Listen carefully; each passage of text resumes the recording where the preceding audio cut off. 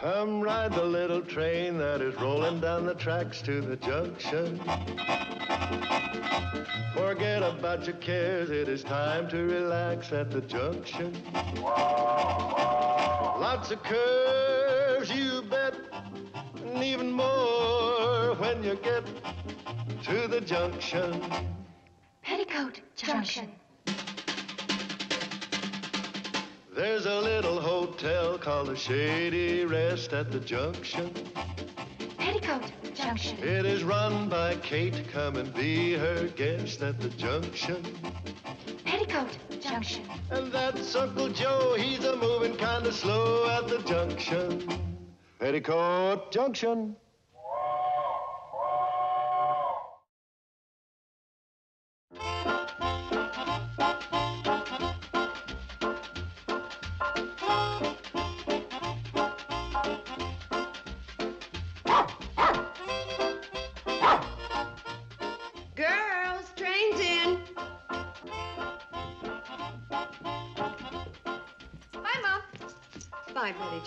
Joe. Have a good time at the basketball game. Oh, I'm not going to a basketball game. I'm going to a debate.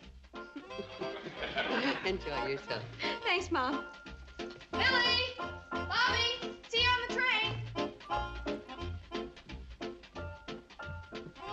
Will you zip me up, Mom? Oh, sure. Hope you and Arthur have a nice time at the dance tonight. Oh, I'm not going with Arthur. I'm going with Greg. I thought Billie Jo was going with Greg. That was yesterday. Billie Jo traded me Greg for Arthur. oh, good heavens! What's the matter? We forgot to tell Greg and Arthur we were switching. Billie Jo. Billie Jo, did you tell Greg and Arthur? No, I thought you did. Oh, Mom, what'll we do? Well, it seems to me the simplest solution would be for you to go out with your original dates. Mom, if you can't help. Come on, Bobbie Jo. Maybe we can figure something out on the train. Bye, Mom. Goodbye, Hey, Mom. Goodbye, girls. Well, so long, Kate. Where are you off to? Sam Drucker's. And tonight I'm going to beat that cheating old box boy. I'm taking my own checkers. Uncle Joe, how can you accuse Sam of being dishonest? Last week I caught him using marked checkers. Good night, Uncle Joe. Enjoy yourself. Thanks, Kate. Well, looks like you and I have the whole hotel to ourselves.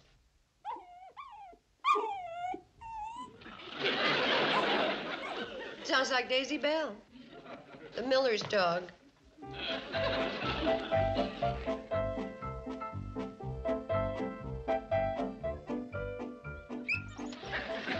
You too, huh? Well, don't keep your girlfriend waiting. And this time, young man, get in before daylight.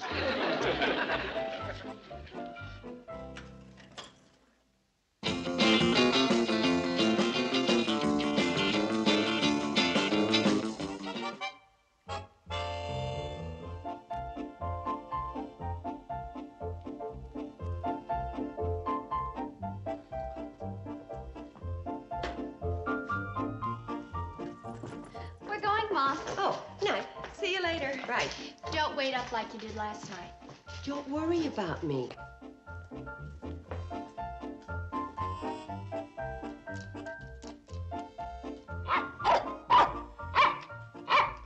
Oh, my goodness, I forgot your dinner.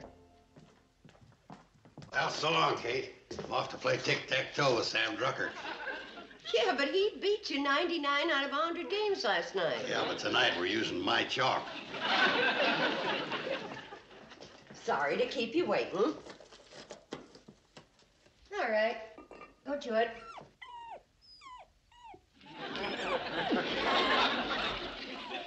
Well, I guess being in love is more important than food.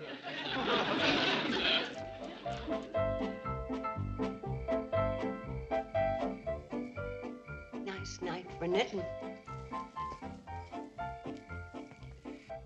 Nothing like knitting under a full moon.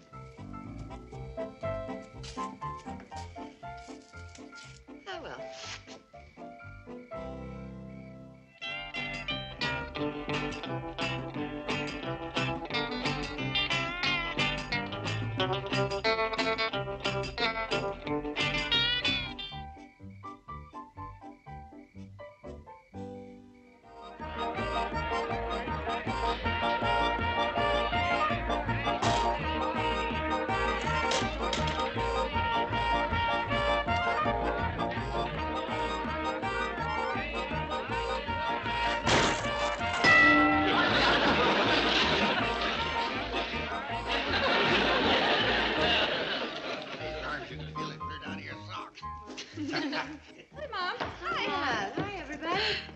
I did it.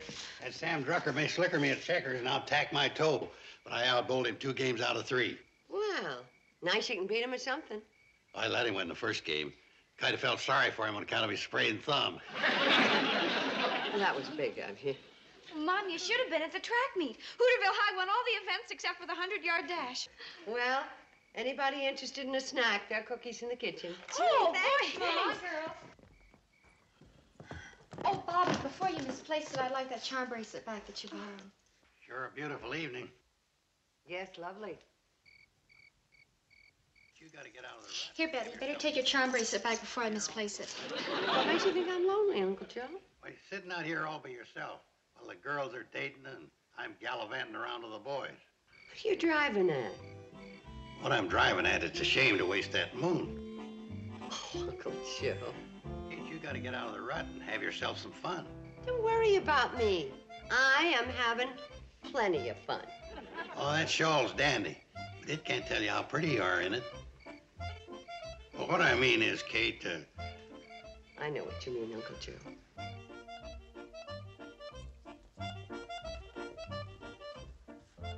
Uncle Joe is right. Yes, we've been awfully selfish. Yeah. What Mom needs is a companion.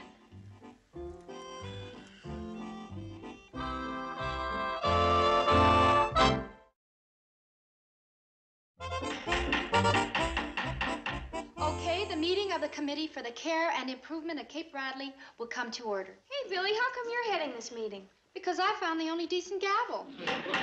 all right, all right. Get on with the meeting. We're trying to figure out how to get Mom back into the land of the living by getting her together with an eligible bachelor. An eligible bachelor for Mom? Look, Infant, why do you think we're holding this meeting? Let's think. How do we introduce Mom to an eligible man? Well, she's met lots of eligible men, but that's as far as it went. Because she still thinks of us as little children. Then it's simple. Which one of us is going in and tell her that we're grown up and she can get out of this dreary old rut? I second the motion, and it's unanimous.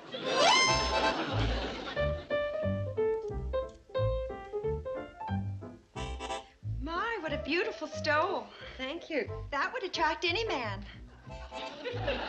Which reminds me, we girls have decided that we're old enough to take care of ourselves, and it's all right with us if you go out on dates. I have another suggestion. If it's not any better than your last suggestion, I suggest you forget the suggestion you're about to suggest. The direct approach doesn't work with Mom. I say we trick her. Now, who's a nice, attractive, available man? Say, how about that new principal at school, Mr. Marshall? He's not married. Hey, great! I've seen him around town, and he's very distinguished looking. Why, if he were 20 years younger, I could go for him myself. Oh, our troubles are over. He passes the Billie Jo Bradley test for men, and you can't go any higher than that. Okay, we've zeroed in on the right man. Now, how do we get him and Mom together? Nothing to it. Tomorrow, Mr. Marshall's going to send for her For Mom? Why? to ask her about how that frog got in his lunchbox. What would a frog be doing in the principal's lunchbox? And why would he talk to Mom about it?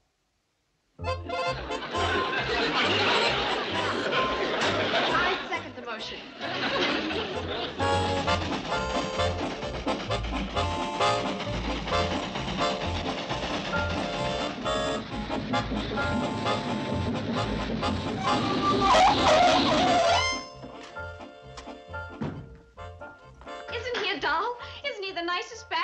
ever met? Go away. I don't want to talk to you. All right, Mom. Come back. I want to talk to you. Betty Jo, this is the most embarrassing thing that ever happened to me. Being called to meet with Mr. Quigley, the vice principal, because my daughter put a frog in his lunchbox. Mr. Quigley? Oh, but I put a. You were supposed to meet. What happened to that nice, handsome Mr. Marshall? He's called out of town. And Mr. Quigley and I agreed that you are not to play baseball for a whole week.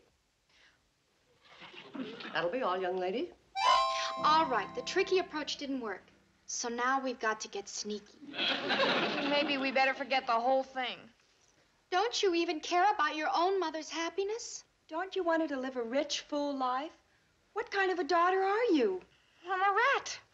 But I can't help thinking we're going to be in big trouble if we keep mixing in. Betty Jo, Mom's whole future is at stake. It's too important to leave up to her. Girls, I got it. We're gonna make Mom happy whether she likes it or not. This time, let's consult an expert. Come on. Oh? So we held a meeting to figure out how to get Mom acquainted with the new principal. So then Betty Jo made a motion that she put a frog in Mr. Marshall's lunchbox. And I went down to Scully Swamp and caught this big fat frog and stuffed it in between his Swiss on rye and his liverwurst. Only it wasn't Mr. Marshall's liverwurst, it was Mr. Quigley's. Well, no wonder it didn't work. A man who eats liverwurst is hopeless. You don't understand. Mr. Quigley's a married man with five children. And Mr. Marshall is a bachelor, and such a nice one. Oh, well, darling, Mr. Marshall is not the only streetcar on the beach. But, Mrs. Douglas, there aren't that many bachelors in Hooterville. But there are a couple in Pixley. And Crabwell Corners has a few. But that doesn't do us any good. All the eligible men are scattered all around. And with Mom taking care of the hotel, How do we get them all together? Well, darling, we do what we do in New York. We get a Lonely Hearts Club. a what? A Lonely Hearts Club, you know. Hearts, hearts. Oh, hearts. That's what I said. Hearts. A Lonely Hearts Club is a good idea, Mrs. Douglas, but Mom would never go to one. Well, if we can't take the molehill to the mountain, we take the mountain to the hotel. Of course. Of course. Of course.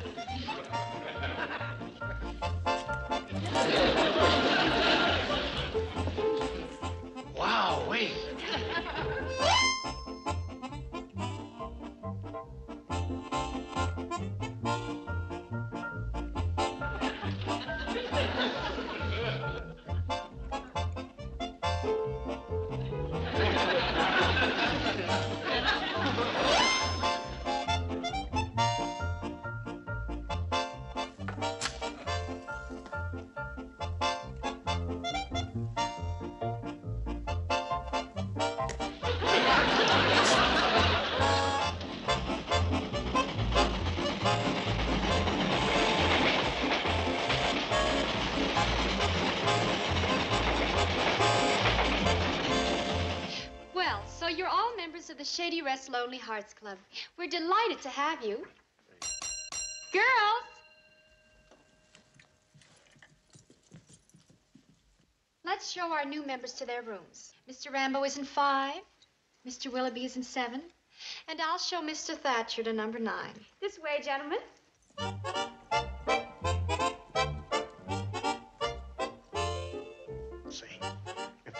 The bellhops are that cute, then the women members must be out of this world. Just a minute, girls. You should have called me. I want these guests to have the best rooms in the hotel. Five, seven, and nine. That's what we gave them. Okay, take them on up. I'm Joe Carson, the manager of this entire operation. You are? Well, then you're the fellow we want to talk to. Yeah, gents? What'll it be? Well, uh, when do the uh, activities start? Activity? Oh, oh, we got an exciting checker game starting in the lobby at 8 o'clock. For those that are athletically inclined, we got a horseshoe game in the backyard at 9. Oh, uh, we mean, uh,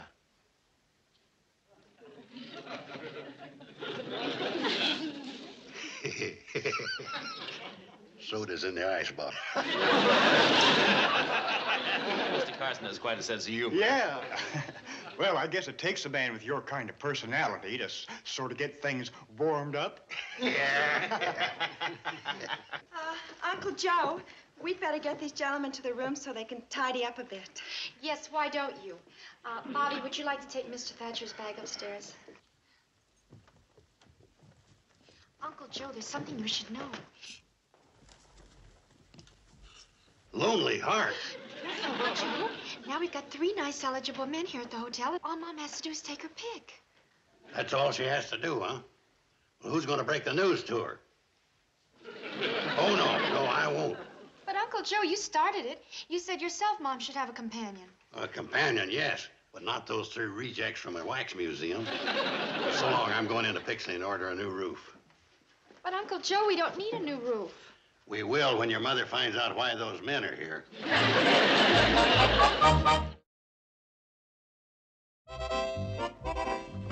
Uncle Joe, what business are those three new men in? Business? I think they're hunters. The season's closed. Not for what they're hunting. Fine time for the girls to vanish. Just when we have three new guests in the hotel. I wonder where they skipped to. I guess they chickened out. I mean, it's a great chicken you come out with tonight, Kate. Oh, thank you. Uh, did you call the guests to dinner? Three times. Well, you get the gravy and I'll get the men down, huh?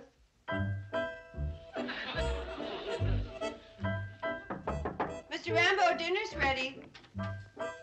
Ain't eating. Aren't you hungry? Yep. Well, then why I'm aren't waiting for the women.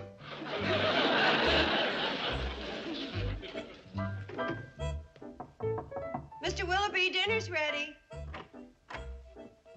I'll wait till my dream girl gets here. Oh, are you expecting your wife? Hope it works out that way, Mrs. Bradley.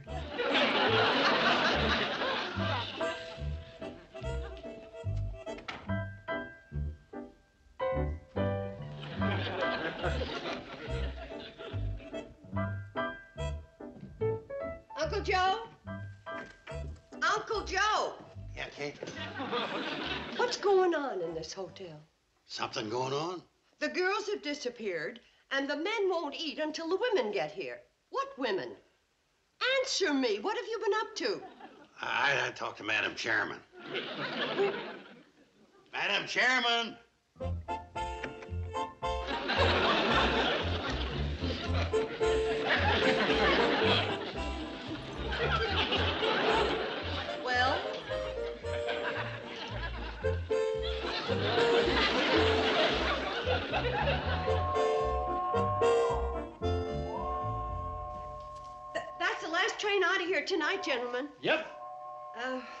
And like I explained to you at supper, due to the misunderstanding, there'll be no charge. And if you're expecting any women, you're going to be disappointed. I'm not disappointed. Me neither. I haven't had to take a pill since I ate that marvelous dinner. I think I've found the girl of my dreams. And my girls tell me that the Lonely Hearts Club was your idea. Yes. Wasn't that clever of me? It was brilliant. Here I am trying to run a hotel, and I'm right in the middle of a three-man tug of war. Only three. Well, don't worry. Some more will arrive tomorrow. Mrs. Douglas, I, I know you're trying to help, but if you don't mind, when the time comes, I'll find my own man. I know you will, but but it's nice to have an assortment. there, you see, I solved all your problems. You solved all my problems. Uncle Joe, you're gonna solve my problem. And put down that pie. Putting it down as fast as I can, Kate. We got three men in this hotel expecting to meet women. That's their problem. Their problem is our problem. Because you and the girls lured them here under false pretenses. The Shady Rest Hotel is not now, nor ever will be, a lonely arts club. What are you getting so all steamed up about? Because I don't want the hotel sued. Now, you get those men out of here without telling them why. Kate, you're, you're asking me to do the impossible. We gotta make them want to leave. I know. We'll toss a hat full of hornets in their rooms. I think this is more practical. You know about these men. Now, tell me first about Mr. Rambo. What about him? Didn't he ever say what kind of woman he didn't like? Oh, yeah. The Gabby type. He can't stand them. Okay.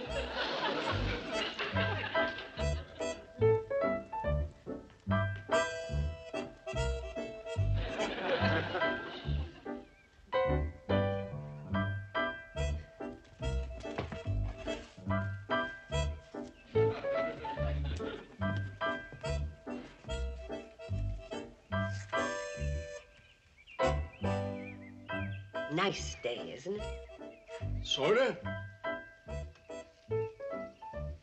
I'm so glad we're away from the others. You know, Being a hotel manager, I try to be impartial to all my guests. But sometimes it's difficult because some men are just naturally more attractive to women than others, especially the strong, silent type. And the strong, silent type man likes a silent type woman. And you will find that I am probably the most silent woman you ever saw. All my girlfriends say that I am the most silent person they know. They're all blabbermouths, but not me. I'm silent. And I think that's why we are mutually attracted, because you're silent and I'm silent. How would you like to go for a nice silent walk? Excuse me, uh, I think I'll go back.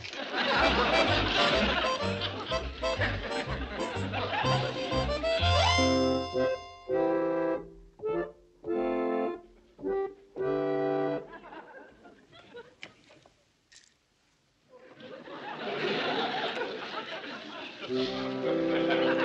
down, two to go. Now, about Mr. Willoughby. Willoughby? The hypomaniac playing the organ? Katie's got so many pills in him, he rattles when he walks. What doesn't he like? He doesn't like to hear about other people's aches and pains. Oh? How are you feeling? Oh, not too bad. Except for this pain in my I hip. I feel awful. Mrs. Bradley, those are for the pain in my hip. Hip. I got pains all over. Hip, knees, elbow, ankles. But that may not be the right pill. Don't give it a second thought. Wherever this pill goes, there'll be a pain waiting for it. Oh, there, there, there it goes now. Oh, Oh, your knee hurts? oh. Well, I had a pain in my knee You once. that- think you had a pain? This knee goes out of kilter if I so much as pass a drugstore. Well, speaking of pain, I gotta sit down. Did I tell you that I had my appendix taken out three times? The first time the doctor couldn't find it, and the second time he found it, and it had wiggled its way behind my pancreas. So the third time, the doctor took the scalpel. Mrs. Bradley, you may be a good cook, but I could never seriously consider spending the rest of my life with somebody who does nothing but complain.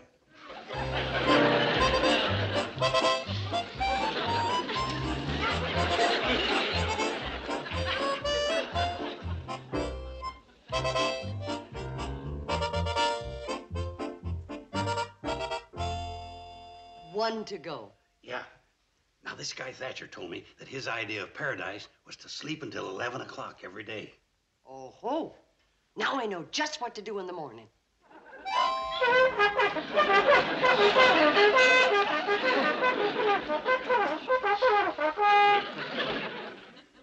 He ain't rising, Kate. Give him some more encouragement.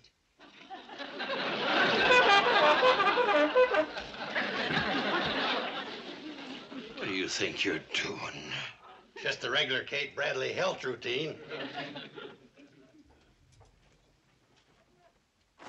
Okay,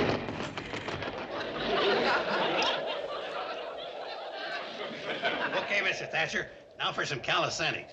As a starter, we'll touch the toes 50 times without bending the knees, and then segue into 40 push-ups. Not me. I'm going to get back into that bed. And when I wake up at a decent hour, I'm going to get out of this boot camp.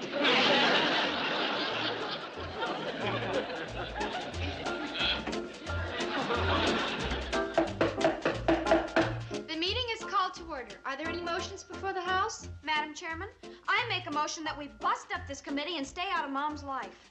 And tend to our homework. I second the motion.